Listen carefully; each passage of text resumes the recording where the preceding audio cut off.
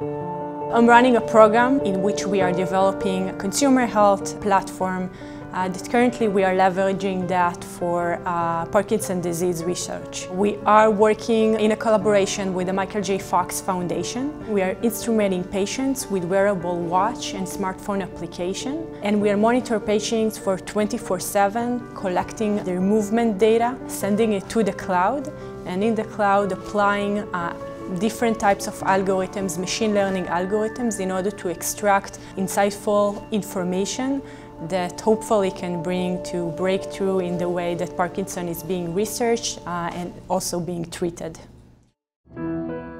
Parkinson is a neurological disease and patients see their physician or their clinician every few months, in average between 6 to 12 months. What we are uh, trying to change is that the patient can share with his physician the data that was collected uh, between the visits. So uh, the evaluation is much more objective rather specifically based on how the patient is currently feeling at the specific visit. Patients are excited to be able to contribute their data to science by just giving the data to researchers or to other facilities that can run the research. We are applying some strict security mechanism to make sure that first of all no privacy violation, the data is completely de-identified so the data is kept in a completely anonymous manner. One of the algorithms that are implemented is analyzing the way they walk, their gait, because this is one of the symptoms that are being damaged over time for patients with Parkinson. So we needed to develop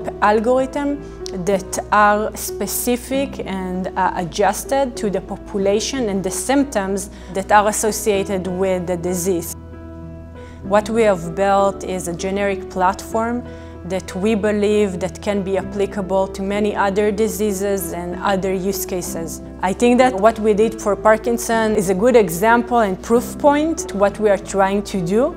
But I believe that uh, the same platform with similar capabilities can deliver value in hopefully in, in many other diseases as well.